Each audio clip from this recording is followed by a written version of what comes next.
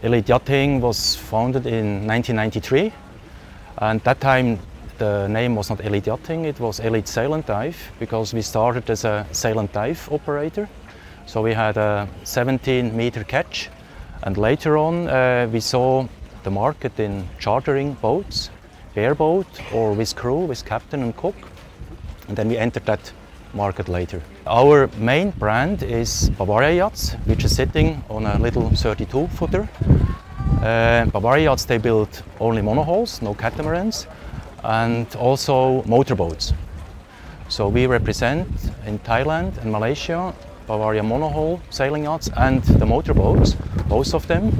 And uh, beside Bavaria we have uh, Seawind catamarans, they're built in Australia.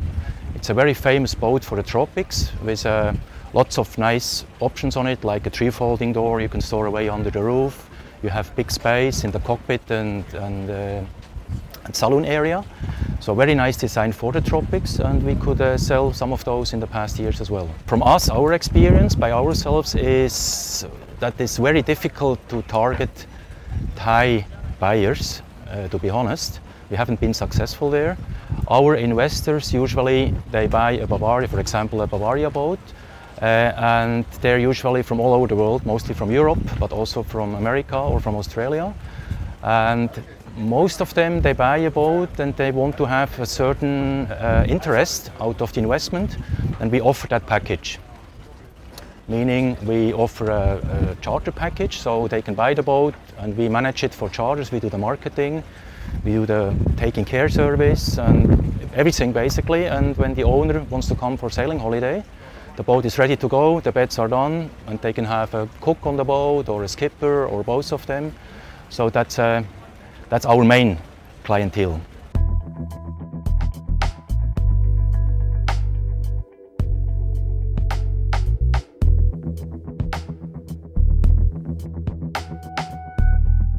Our charter clients, they usually come from Europe. They come, they come here in the winter, Europe in winter time when it's cold there. So they go usually what we, what we know, they go to Caribbean first because Caribbean is the number one winter destination still. Maybe that will change in the future. And number two is basically Seychelles, Thailand, but I would say Thailand is taking over. So I see a bright future in the, in the charter business in Thailand. I see it uh, in our business. We grew a lot. Uh, at present we offer 22 monohull boats and catamarans to our clients. And they can either have the boat bareboat if they're experienced skippers, or they can have it crewed or only with skipper, only with cook. And that's basically, I see a bright future there. At the moment we're looking at the Gulf of Thailand, which obviously for us the perfect base would be Koh Samui for boat sales on one hand, but also as a charter operation. The problem is there the marina. But we hear something that maybe maybe it will come. So we hope we will have a marina very soon there.